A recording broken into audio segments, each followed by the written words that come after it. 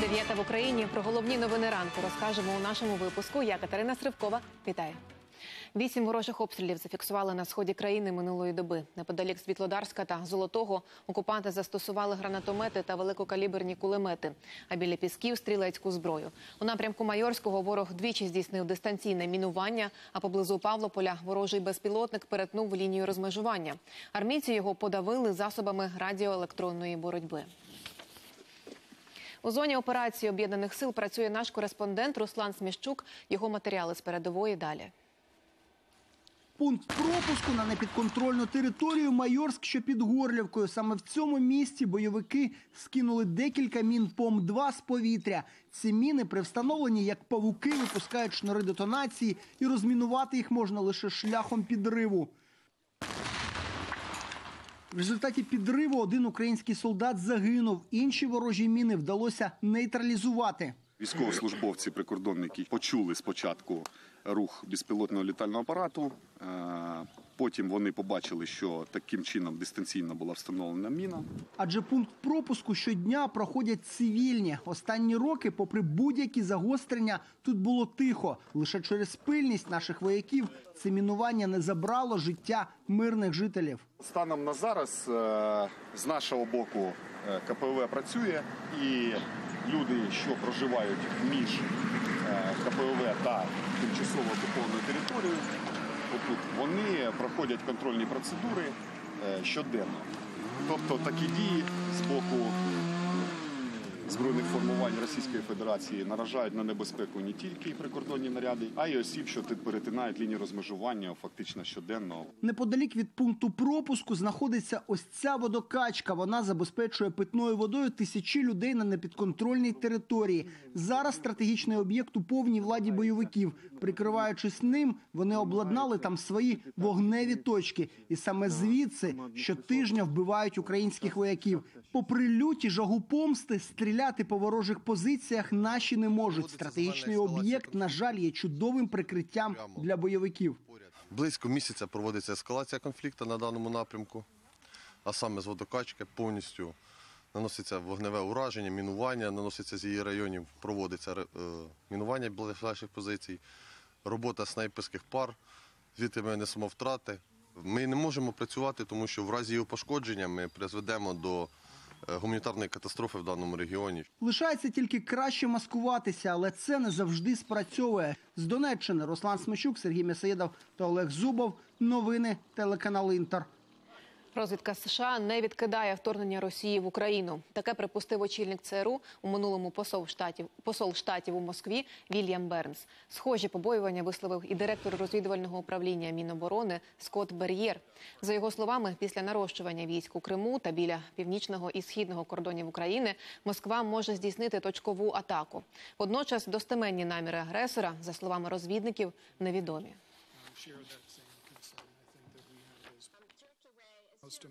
Більшість сивини у моєму волоссі з'явилася через роботу у путінській Росії. Я знаю, що не можна недооцінювати те, як вона намагається скрізь тиснути авторитетом, так би мовити. Нарощування військ це спроба залякати українське керівництво. Водночас рівень концентрації російських військ може стати основою для обмежених вторгнень. Наші союзники так само стурбовані такою імовірністю. Усі члени НАТО одностайно стурбовані нарощуванням російських військ на кордонах України. Про це напередодні у Брюсселі заявили держсекретар США Ентоні Блінкен і генеральний секретар альянсу Єнс Столтенберг. Дипломати обговорили найбільше за останні сім років нарощування Москвою військ біля українського кордону. Зауважили і стриманість Києва у відповідях на провокації агресора. Усі 30 країн-учасниць НАТО вимагають від Росії кроків для зниження напруги. Союзники повністю підтримують суверенітет і територіальну цілісність України. Ми закликаємо Росію негайно припинити ескалацію, припинити агресивні провокації і дотримувати міжнародних зобов'язань. Ми і далі дуже уважно моніторимо активність на україно-російському кордоні. Так само тривають і консультації з нашими партнерами. Ми закликаємо Москву бути більш прозорою у своїх діях. Чергове засідання у справі MH17 розпочнеться сьогодні в Нідерландах. Суд розгляне технічні питання, пов'язані з реконструкцією уламків і зверненнями родичів загиблих щодо компенсацій. А вже у червні планують почати слухання. Нагадаю, пасажирський боїнг рейсу MH17 був збитий у липні 2014 року над окупованою частиною Донбасу. Як з'ясувала міжнародна слідча група, в нього поцілили з російської установки БУК. Тоді загинули всі 298 людей на борту. Слідчі назвали імена чотирьох підозрюваних, троє громадян РФ і один українець. Усі воїни, усі вони воювали на боці так званої ДНР. Сполучені Штати сьогодні оголосять про нові санкції проти Росії. Про це повідомляє CNN із посиланням на джерела в адміністрації президента. Обмеження запроваджують через кібератаки на державні установи і втручання в американські вибори. У списку кілька російських посадовців та компаній. До того ж, Вашингтон збирається вислати із країни десяток російських дипломатів. Указ Байден підпише після узгодження із держдепартаментом і міністерством фінансів. Адміністрація Джо Байдена оголосила про намір остаточно вивести війська з Афганістану. Операцію почнуть 1 травня і завершать до 20-ї річниці нападів Аль-Каїди 11 вересня. Синхронно з американцями своїх військових виведуть і інші держави під командуванням НАТО. Торік США досягли історичної мирної угоди між рухом Талібан та урядом у Кабулі. Віднині американський уряд обіцяє підтримувати країну на шляху перетворень, однак тепер без військових засобів. Ми вчинили справедливо стосовно Усама Бен Ладена 10 років тому. Відтоді залишились в Афганістані, хоча на це не було явних причин. За останні 20 років терористична загроза стала більш розсіяною і пустила метастази у різних місцях. Тому немає сенсу концентрувати війська лише в одній країні. Ми не відвернемо увагу від загрози. Ми усвідомлюємо свої можливості в регіоні, щоб запобігти появі нових терористичних угруповань. У Київській області відбулися масштабні навчання артилеристів. Так, досвідчені бійці сухопутних військ, що пройшли війну на сході, завершують підготовку до спільних травневих навчань із партнерами з блоку НАТО. Побували на полігоні і наші кореспонденти. Це гармати, які мають квіткову назву гіацинт, калібр 152 мм. В батареї 4 гармати б'ють прицільно, як снайперська гвинтівка, на відстань до 28 кілометрів. Чотири розрахунки майже місяць готуються до спільних навчань з колегами, артилеристами з країн НАТО. Всі наші гармаші мають досвід справжньої гарячої війни на сході України. Багатонаціональні навчання Dynamic Front 2021 відбудуться з 11 до 18 травня у Німеччині, Польщі та Туреччині. Також долучиться і Данія. Зокрема, під керуванням штабу НАТО українські батареї працюватимуть разом із поляками на полігоні поблизу міста Торунь. Ми будемо приймати участь вперше. Я думаю, що нашим західним партнерам є що понавчатись, раховуючи наш набутий колосальний бойовий досвід. За діями українців пильнує офіцер канадської армії Грегорі Гарбер. Передає свій досвід та переймає бойовий український. Судячи з того, що ми бачили під час підготовки українських артилерістів, у нас все більше і більше спільного. Ми вражені тим, що більшість військовослужбовців була в зоні ООС. Це перший раз, перший прецедент, коли е, наші збройні сили будуть сумісно виконувати завдання іменно е, артилерійський підрозділ е, разом з країнами-партнерами і на території інших, іншої держави. Тобто планується етап е, на декількох полігонах про загальне керівництво Е, Цими навчаннями здійснюють Сполучені Штати Америки.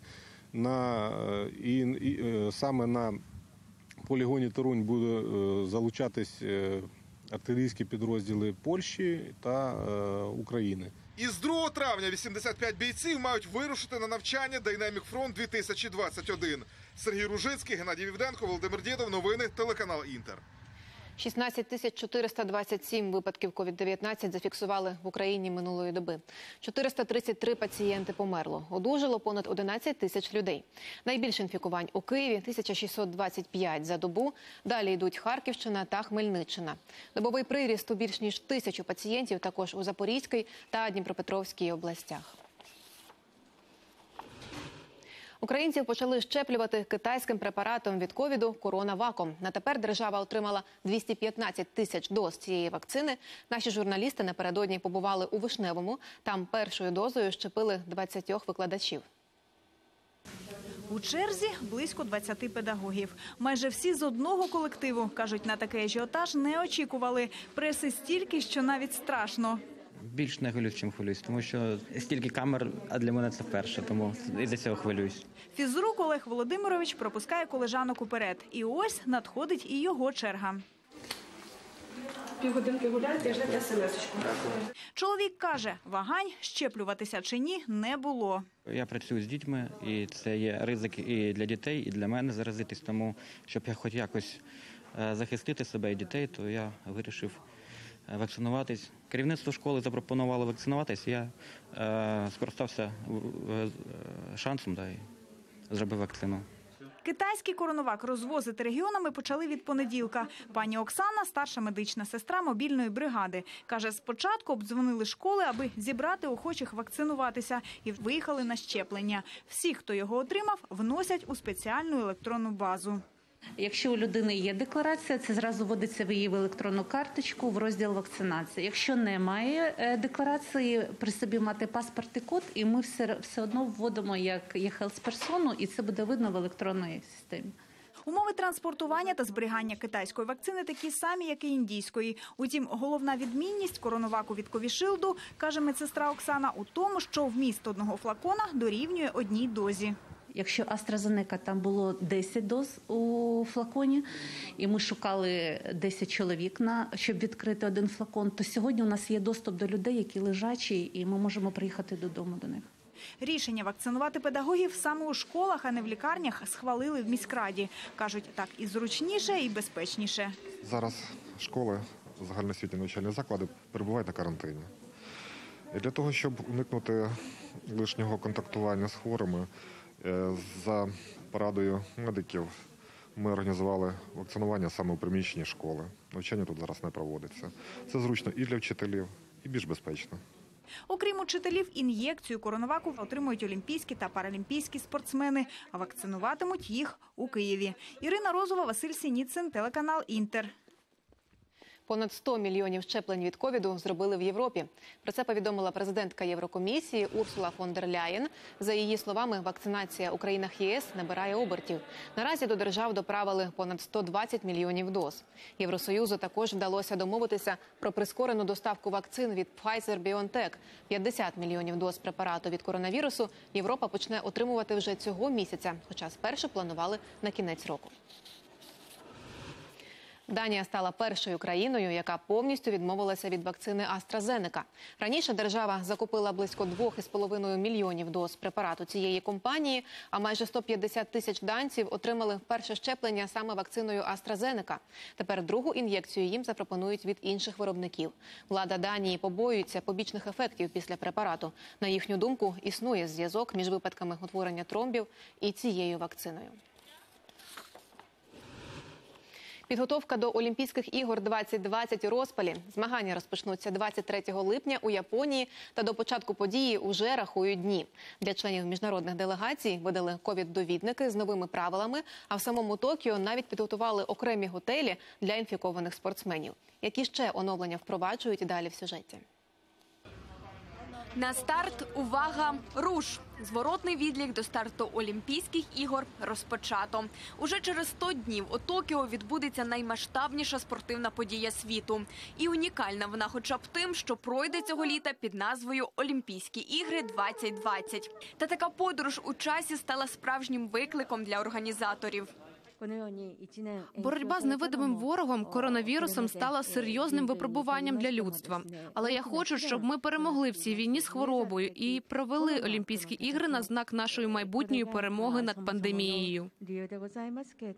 Відтепер міжнародним делегаціям доведеться дотримуватися не лише спортивних правил, а й карантинних. При в'їзді в Японію кожен учасник змагань повинен надати негативний тест на COVID-19. Перевірятимуть на інфікування спортсменів мінімум раз на 4 дні.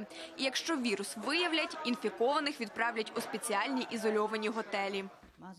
Складність полягає в тому, що ситуація завжди змінюється. Навіть за останні кілька місяців дуже важко продовжувати підготовку, коли ми не знаємо, як події розвиватимуться в майбутньому. Але уряд Японії разом з міжнародним олімпійським і паралімпійським комітетами мають одну мету провести безпечні змагання, і ми рухаємось до цієї мети завдяки командній роботі.